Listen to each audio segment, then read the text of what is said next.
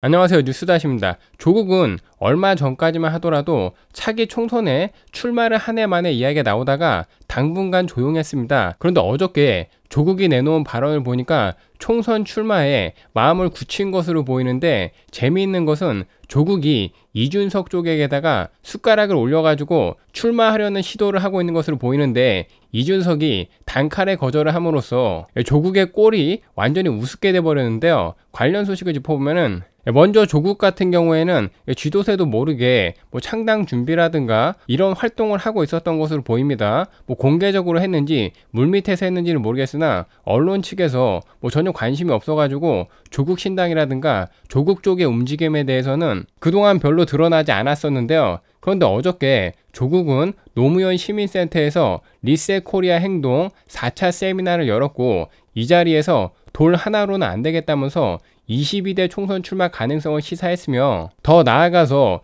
이준석 신당하고 연대해서 200석 이상을 확보해야겠다라고 이야기했습니다. 네, 그리고 여기서 이야기하고 있는 리셋 코리아 행동이라는 조직은 조국이 주도하고 있는 정책 싱크탱크이고 어저께 리셋 코리아 측은 4차 세미나가 끝나고 나서 발기인 대회를 거쳐 공식 출범을 했는데 이거는 사실상 창당 바로 직전 절차여가지고 정치권에서는 조국 신당이 총선을 얼마 남겨두지 않고 수면 위로 올라왔다라고 보는 게 중론입니다. 네, 그런데 재미있는 것은 조국 쪽에서 이준석에게 손을 내밀고 있다는 것인데 이날도 조국은 차기 총선에서 범야권 진영이 200석을 무조건 가져야 된다라고 이야기했고 200석을 가져야지 뭐 윤석열 정권을 끌어내릴 수 있다 뭐 이런 얘기를 하면서 이준석하고 연대를 해야 된다라고 강조했습니다. 네, 사실상 이준석에게 손을 내민 것이고 뭐 더 나아가서 이준석 쪽에게 SOS를 친 것이라 다름이 없는데요. 하지만 오늘 이준석은 조국의 이러한 요청에 대해서 단칼에 거절했으며 이준석은 자신의 SNS에다가 조국 전 장관이 정치적인 움직임을 준비 중인 것으로 전해 듣고 있지만 개혁신당은 조국 전 장관과 정치적인 행보를 같이 할 계획이 없다라고 했습니다. 네, 이를 두고 정치권에서는 이준석이 조국의 손을 뿌리치는 것은 너무나 당연하다라고 이야기하고 있으며 더 나아가서 지금 상황에서 바보가 아니고서야 조국하고 손을 잡고 정치를 같이 하자라고 이야기할 사람은 없을 것이라고 지적을 하고 있는데요. 네, 그도 그러할 것이 현재 이준석의 입장에서는 조국에게 아쉬울 것이 단 하나도 없습니다. 네, 우선은 조국이 왜 공개적으로 갑자기 이준석에게 손을 내밀었을까 그 이유부터 살펴보면은 지금 선거제가 조국 쪽에서 예상하고 있는 것과는 완전히 지금 다른 쪽으로 흘러가고 있으며 원래 조국 같은 경우에는 출마할 경우에 뭐 지역구로 출마할 것이다 이런 예상이 나왔었고 조국이 뭐 관악구로 이사간 것이라든가 또는 본인의 고향인 부산 지역에서 출마할 것이다 뭐 이런 얘기가 많이 나왔지만 사실 조국의 상황을 놓고 보았 을 때 지역구 출마를 해가지고 당선될 가능성이 낮고 또 지역구로 출마하는 것은 명분도 없는 상황입니다. 그 전 국민들이 조국이 자신의 방탄을 위해서 금 배지를 차려고 한다는 것을 다 알고 있기 때문에 멍청이가 아니고서야 지역구로 출마하는 것은 자살행위나 다름이 없는데요. 이 때문에 조국 같은 경우에는 비례 쪽을 노리는 것이 뭐 거의 중론이었고 실제로 여태까지 조국이라든가 조국의 출마를 돕겠다는 이들의 행보를 보면은 조국이 비례로 출마하는 쪽에다가 포커스를 맞춰가지고 정치적 움직임을 끌고 왔었는데요. 그런데 이재명과 민주당이 예상과는 다르게 뭐 거의 병리평 쪽으로 기울어져 있는 모습이고 현재 민주당에서는 권역별 병리평 뭐 이런 식의 소수 정당을 챙기는 듯한 이런 병리평으로 회귀하려고 하는데 말만 소수 정당을 챙기는 것이지 권역별 병리평으로 갈 경우에는 조국 신당과 같은 진짜 소수 정당은 아무것도 챙길 수가 없으며 네, 그나마 제3지대에서 덩치가 조금 있는 이준석 신당이라든가 이낙연 신당 정도가 의석수를 조금 챙길 가능성이 높고 아니면은 이들이 힘을 합칠 경우에만 조금 유의미한 성과를 낼 수가 있는 상황인데요. 이런 상황에서 조국이 금배지를 달 수 있는 가장 좋은 방법은 이준석이라든가 이낙연 쪽으로 기생하는 방법밖에 없는데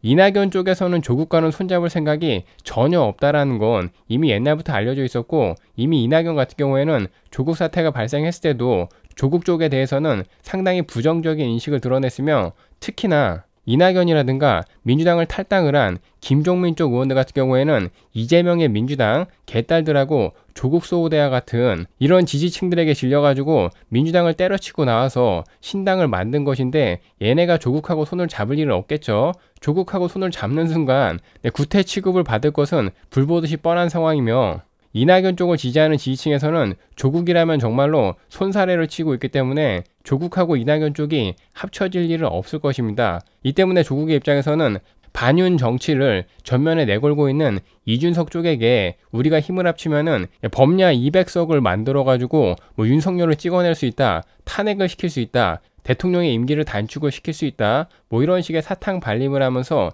이준석에게 손을 내밀고 있는 것인데 네, 이준석도 바보는 아니죠. 네, 조국의 저런 말도 안 되는 얘기에 넘어갈 사람은 아니고 또 무엇보다도 이준석 같은 경우에는 본인이 먹을 게 없는 쪽에는 쳐다도 안 보는 스타일입니다. 근데 지금 누가 보더라도 이준석하고 조국의 상황을 놓고 보면은 조국이 절대적으로 아쉬운 상황이기 때문에 이준석이 조국하고 손을 잡을 일은 절대 없을 것이며 현재 이준석 같은 경우에는 이낙연 쪽하고도 손을 잡내 만에 하면서 저울질을 하고 있는데 조국처럼 체급도 안 되는 애가 손을 잡자라고 이야기하면은 동네 개가 먹다 뱉은 갈비만도 못하게 보이지 않을까 뭐 이러한 생각이 드는데요. 그리고 솔직히 정치권에서 이준석이라든가 이낙연 말고도 제정신이 바뀌었다면은 조국하고 손을 잡고 정치할 사람은 없을 것이라고 생각이 되며 예, 지금 우리 국민들이 가장 혐오하는 정치 중에 하나가 정치인들이 정치 권력을 얻어가지고 자신의 사법 리스크를 물타기 하려고 하는 방탄 정치를 가장 역겨워하고 있는 상황인데